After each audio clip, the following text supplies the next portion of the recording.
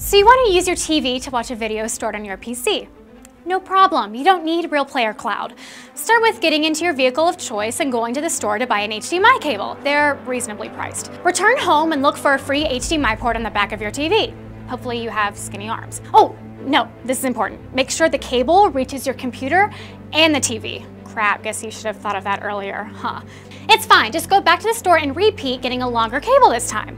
Return home, attach the new cable, and turn the TV on. Every TV is different with their input settings, so you're going to have to figure out which one to use. Just scroll on through, I'm sure you'll find it.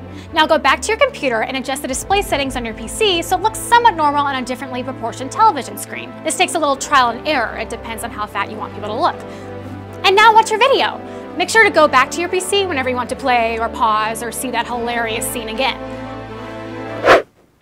With Real Player Cloud, you can watch any of your videos on your TV instantly. No waiting, no hassles.